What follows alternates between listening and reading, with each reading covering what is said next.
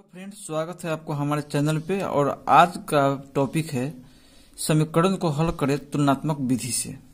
ठीक है, यहाँ पर टॉपिक है तुलनात्मक विधि से समीकरण को सॉल्व करना है। और हमको दो को समीकरण दिया हुआ है, जो पहला है two x plus three y बराबर उन्नीस और three x plus four y बराबर छब्बीस। तो चलिए इसको हम इक्वेशन एक मान लेते हैं और इसको इक्वेशन दो मान लेते हैं। ठीक है? तो इक्वेशन वन से लेते हैं पहले। तो two x plus three y बराबर उन्नीस है।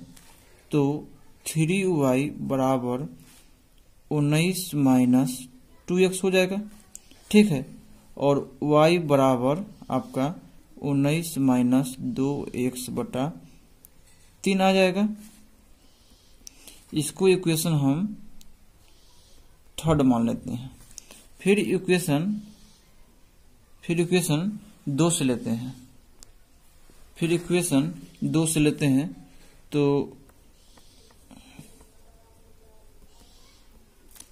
इक्वेशन दो मेरा है three x plus four y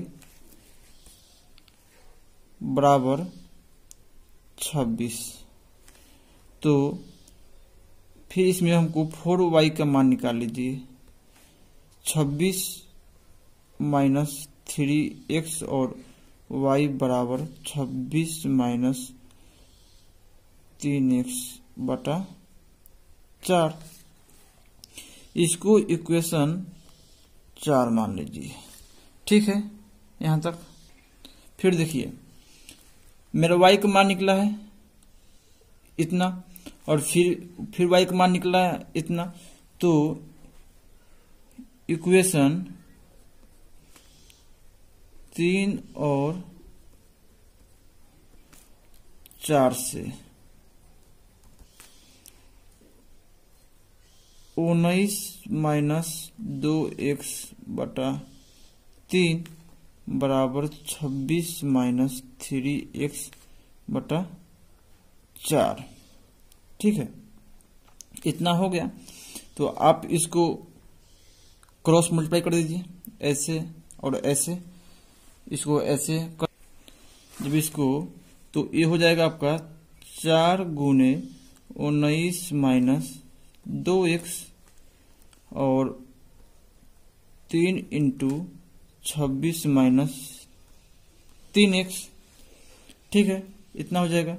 तो इसको गुना कर दीजिए उन्नीस गुने चार, छिहत्तर माइनस चार दूना आठ एक्स बराबर छब्बीस दिया अठहत्तर माइनस नाइन एक्स। ठीक है, यहाँ तक।